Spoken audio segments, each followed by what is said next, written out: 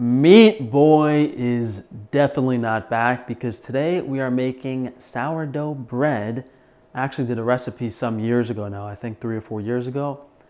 Definitely long overdue. And I actually created this recipe we're doing today from a recipe for pan di campagna on King Arthur Flour's website. So this is adjusted because of the type of flour we're using, different water, all that type of stuff. So you probably want to follow this uh, if you are using a high quality organic white flour.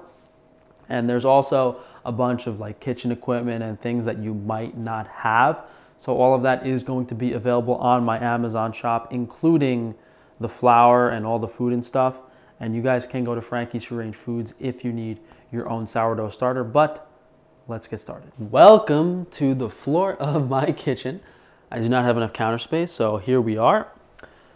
Big bag of organic flour from Great River Organic Milling. This is on my Amazon shop, as well as all the other stuff as we mentioned earlier, guys.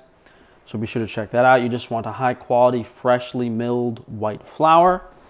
Then we have some salt from Frankie's Free Range Meat. We have our sourdough starter that's available on Frankie's Free Range Foods, glass bottled mineral water, and some organic liquid coconut oil. You don't need to put oil in this. I mean, you could do butter too, or you could just not put any fat in it. It does make the dough a little easier to handle. If you do not have a sourdough starter, to make one, you basically put flour and water equal parts together in a bowl. Let that sit on your windowsill for a few days. Keep adding water and flour to it. And after a week and a half, two weeks, the natural yeast in the air, the wild yeast will take hold and you'll have a starter or you could just get it good to go, ready. FrankiesFreeRangeFoods.com. This is $12 and it's the only sourdough starter available online made from organic flour, glass bottled mineral water, packaged in glass. So definitely a special product. So we're gonna start off with a big stainless steel bowl on the scale and we are going to measure out 325 grams of water. The hydration ratio of the dough will dictate how hard it is to handle. Uh, higher hydration generally means the bread's gonna be more moist as well as have more air bubbles in it. So it's a trade-off for the dough being much harder to handle. So we're going with a lower hydration dough here. Once you have 325 grams of water, we have to heat it up. So we're gonna take this to the stove. So I threw my steel bowl over a high heat. I have my thermometer here. And we just want the water to be about 85 degrees because if it's cold, then the sourdough starter really isn't gonna start fermenting. And it could take three, four, five hours just for uh, the dough to get to the right temperature if the water you put in there is cold. So just tempering the water, making sure it's above 80 degrees is very crucial. If you, you just want to finger test it, you know, just make sure the water is warm the water feels warm to your finger, it's fine. You don't need an instant read thermometer. Even if the water's a little hot, that's okay because uh, the flour is like room temperature, so it's gonna bring it the temperature down. So we're gonna zero out the scale and add the rest of our ingredients. You want 10 grams of salt. And it seems like a lot, but it's almost not even enough. It's honestly almost like a handful of salt that you're putting in this bread. 10 grams of salt. And on top of that, we're gonna add 15 to 20 grams of oil. You don't want to add too much because you will taste it in the final bread if you do. And then we're going to add our sourdough starter. Uh, this is a two ounce jar, so it's about 60 grams. Let's try to add most of it. Now, if you want to make a bigger loaf or like double or triple this recipe, you might have to feed your starter a little bit. You know, add some flour and water to this, let it sit for a day so that you have a higher volume of starter uh, to begin your bread. Know, that's fine. I'm not gonna go crazy and like scoop this out. Now we will zero out the scale again and add our flour.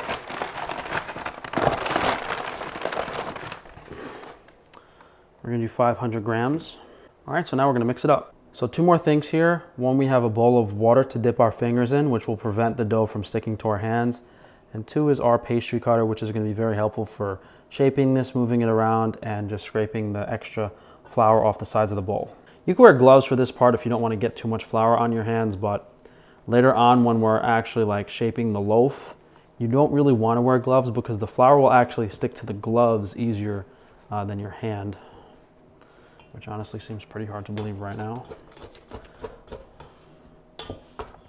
So scraping the sides down with the pastry cutter, squeezing the dough together. Now the nice thing about sourdough is there's no kneading. You know, the timing is important and it does take a decent amount of effort, but you you're not actually physically kneading the dough for that long. I lied, you should definitely wear gloves because it wasn't as sticky as this. This is a mess.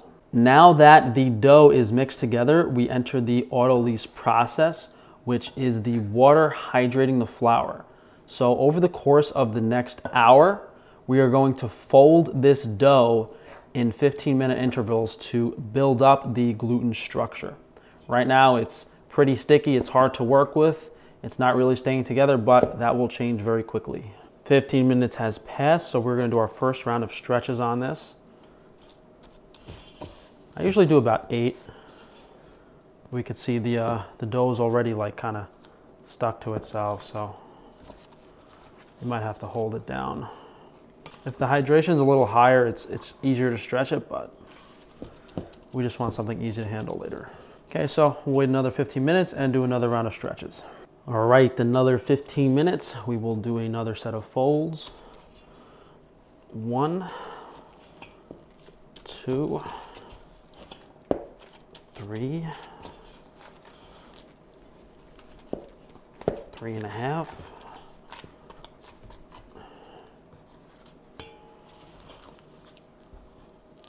four.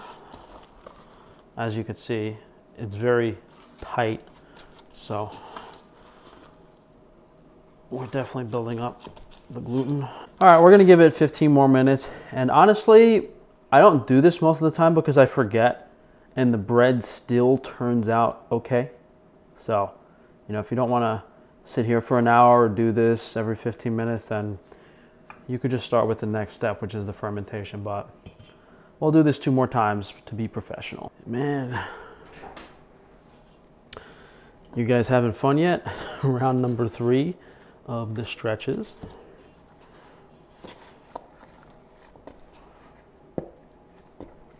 It is so tight. It's like fucking glue. Oh my God. Now, even with my limited knowledge of baking, I'm pretty sure that I've stretched this enough because I can't even like pull it anymore, but uh, we'll do one more for the sake of the recipe. All right, all right, our final fold has arrived.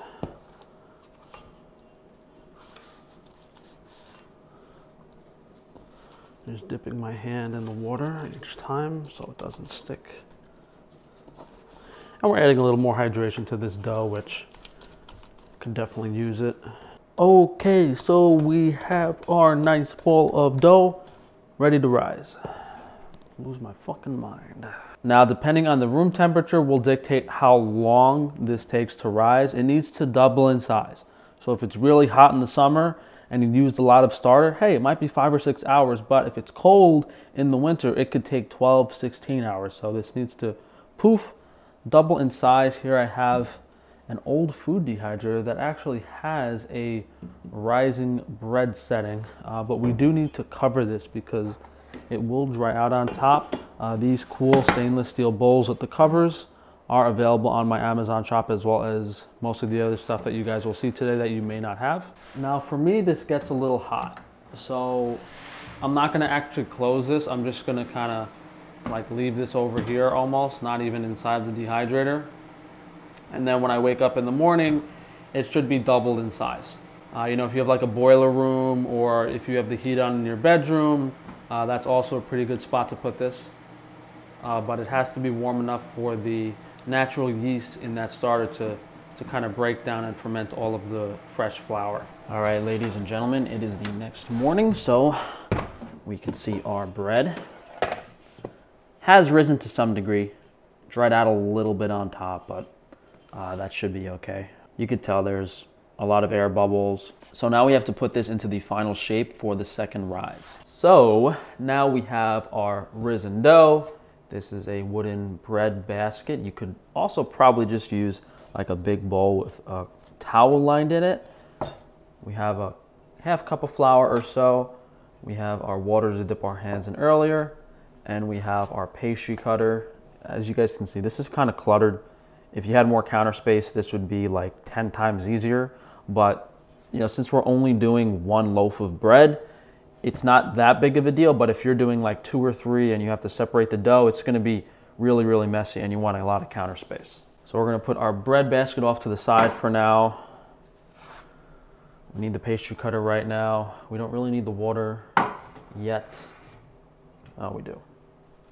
We do need the water. So you also need some type of sifter or strainer. We're gonna pour some of the flour in here.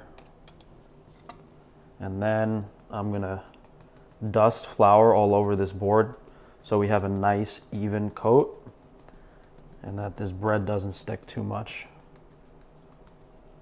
Don't be afraid to put a lot of flour down and use a lot of flour here to prevent it from sticking because even if the bread bakes with like a thick crust of fresh flour on it, it'll still be delicious and that'll still just scrape right off. So it's not really that impactful. So I'm just gonna take my pastry cutter and scrape the dough out of this bowl because it is pretty stuck.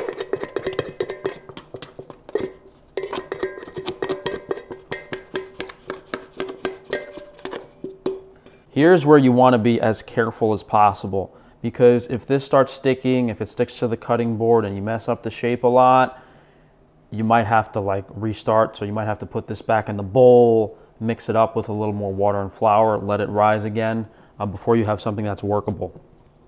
So I'm gonna dip my hands in water and we're just gonna perform four simple folds. We're gonna fold it in, in, and then flip it over so that the seam side is down and then we should have our final dough shape. So I'm gonna take the left side, fold it over, the right side, fold it over, okay? Wet my hands again so they don't stick. We're gonna take the top side, fold it over, and I'm being really gentle here. I felt like gas and air release as I pulled this dough, and we don't wanna release too much of that. We want as much gas to stay in the dough as possible. Then I'll take the final fourth side and flip it over. So now we want to take this and then flip it over one more time. So I put it over here because I want to just redust the bottom here a little bit so we ensure that it doesn't stick. Then I'm going to shift my dough over here. This is pretty much perfect except the, the top did dry out a bit. So it doesn't really look perfect. But shape-wise and with the amount of air, see that big bubble? Shape-wise and the amount of air that we have in this loaf is excellent, excellent, excellent, excellent. You can kind of like push your fingers in around if, if you want to shape it a little more, like if it's uh, if it's a little out on this side, you can push it in here. If it's a little out on this side, you can kind of push it in, but you just want a circle. Now, since that seam is kind of just formed, we got to let this sit for like 10, 15 minutes before we move it so that the flour can kind of settle and the seams can stick together. So let this rest for another 10, 15 minutes and there should be no more resting after this. So it's been about 10 minutes. The dough has spread out a little bit. This is the kind of last hurdle if you do this without messing up, there's nothing else to mess up. Uh, but when we like go to scoop under this bread to put it in here, it, it's pretty easy to tear it apart and stuff. So first we want to add more flour to this so it doesn't stick on the inside because we're to flip this over in this way. So I'm to put a light dusting of flour on top of the bread. And normally you would only have to dust and flour this, but Mine's kind of messed up. Like I tried washing it and drying it out, but it's not as soft and pliable as it used to be. So I think this cloth has to go in the dryer or something. Light dusting on this too. And then we're just gonna take our pastry cutter and our hand, go under here and flip it over inside. It should be that easy if you adequately floured the board, which as you can see now, there's like no flour here. So if it sticks to the board and you don't get it in like perfectly upside down, there might be an issue. But now we just cover this and put it in the fridge. Now, depending on your schedule, you can leave this in here for anywhere from eight to 12 hours. So this is like a second ferment. The dough is rising slightly. It's building up more flavor. Honestly, if you just leave it out for like an hour or two, you can probably bake it just fine, but um, this is what the recipe calls for. The time is nigh. Our bread baking nightmare is almost over. Uh, now we got to heat up this pot, then cook the bread. It's to be about two more hours. So you have, I would say, an hour and 15 minutes of prep in the beginning. Then it's a 12 hour fermentation. Then it's another 15 minutes of prep. And then you have an eight hour fermentation. And then it's uh, about two to three hours to cook it. So we're talking a 24 hour process from when you start making the bread. You have to keep that in mind. And the bread is kind of fresh for two days, and the third day it's not that great. So, mm. here are some more goodies you can find on my Amazon shop or locally. Uh, this is a Lodge cast iron Dutch oven. This was like $99 at Target. I think it's actually cheaper online. I'm sure most of you guys have one. I did not, so I had to buy one.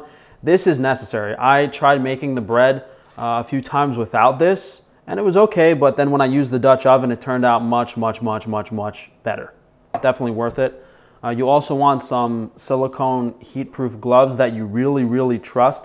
Uh, these actually came with uh, some of these too, so you can do like a double layer protection because this is gonna get really, really hot and you wanna be super careful about it.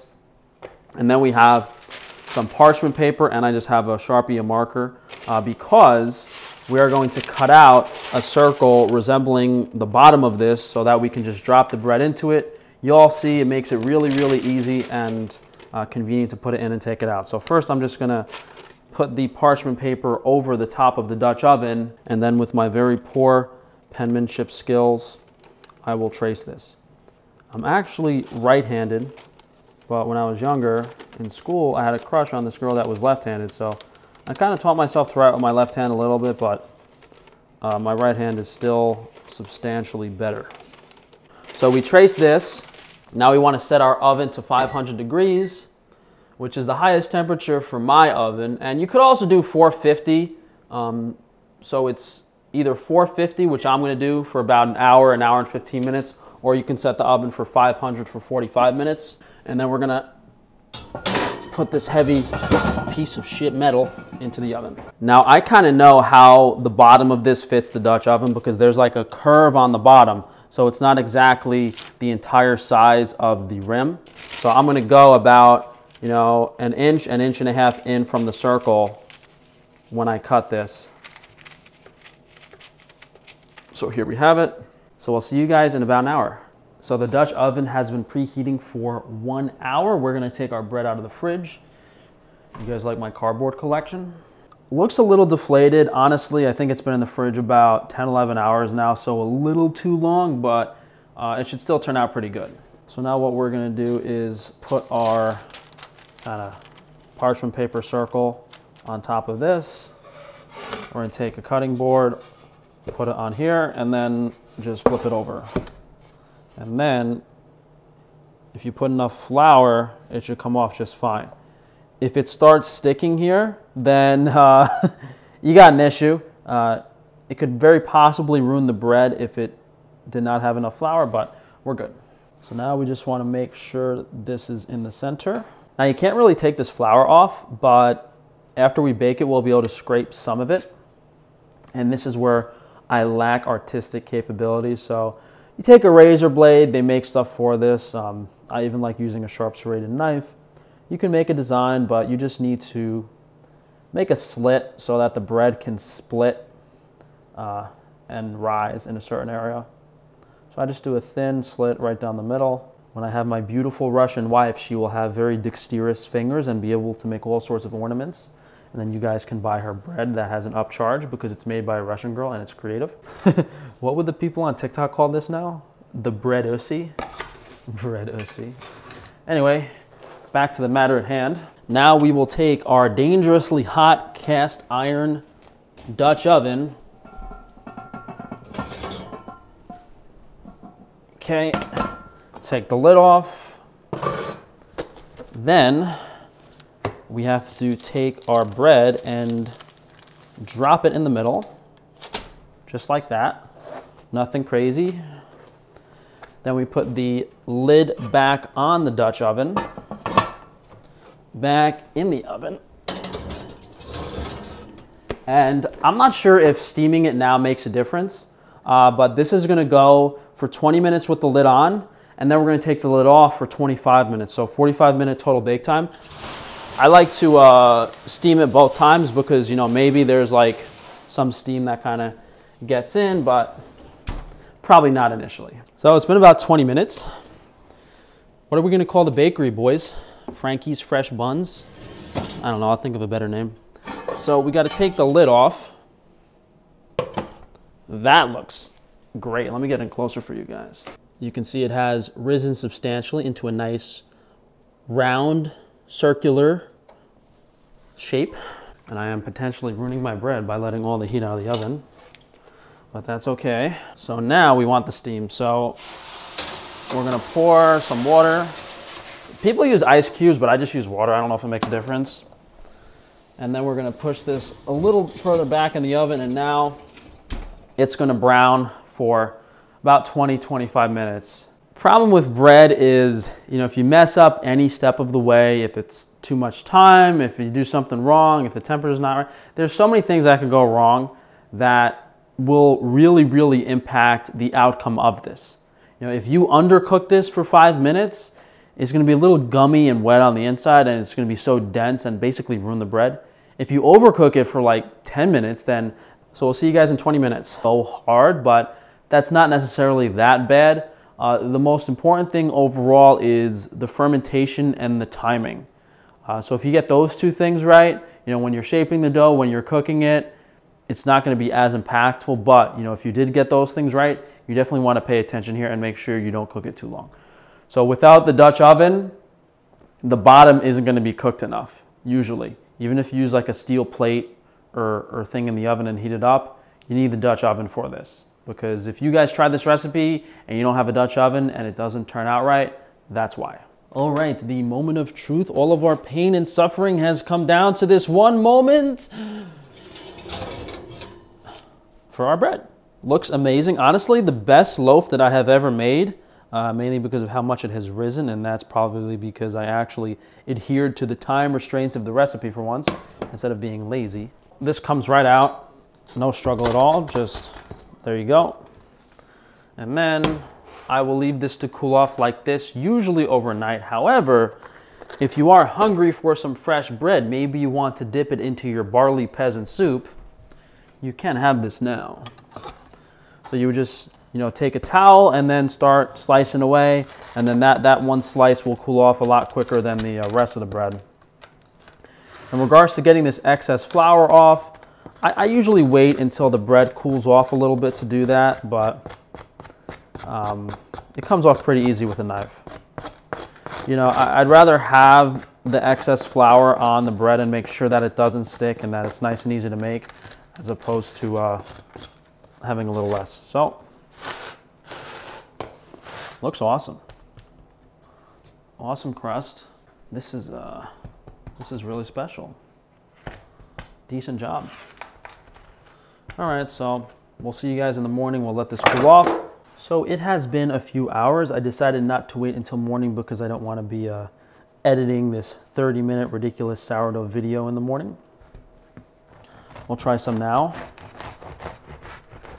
Now this is by far the best rise I have gotten out of any loaf.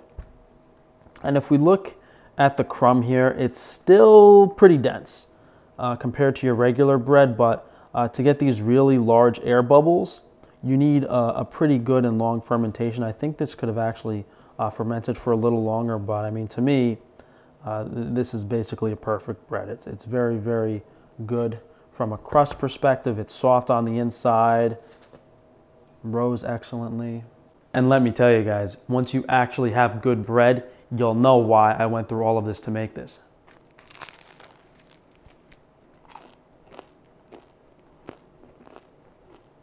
Flavor, the freshness, it's phenomenal. You can eat this just on its own with nothing added to it. Perfect. Crust isn't too hard. Really soft inside. This is so good. So delicious. So this is at its best. It's okay for about a day. The second day, it's not as good. The third day, you want to put a little water on the outside and warm it up in the oven before you eat it and it'll still be good. One of these loaves usually lasts me about three days. I was supposed to be making dinner, but this is so good. You know, I was looking at a focaccia recipe, and it's actually a lot simpler than this. You don't have to do the folding during the autolyse, and there is no second rise in the fridge. Uh, you just oil it into like a sheet pan and then bake it in the oven. So maybe we'll do that recipe video when I can tolerate filming this much again. Because just making this bread on its own, it's a decent amount of work, but then when I have to film it and make sure the timing's right and all that stuff, it's triple the work. But that'll be it guys. Hopefully you are enjoying bread as delicious as this sometime soon. As I mentioned earlier, we have all the stuff on the Amazon shop and the sourdough starter available on frankiesfreerangefoods.com. So, hey, hopefully sometime in the future we have a Frankie's Bakery, but I think in the in the short term I might start milling my own flour and my own grains with a grain mill um, just to have the freshest stuff possible. So, guys, please drop a like on the video, leave a comment down below, make sure to subscribe and check that notification bell. And of course, check out frank-tufano.com if you'd like to support me through those businesses. I'll see you guys soon. Thank.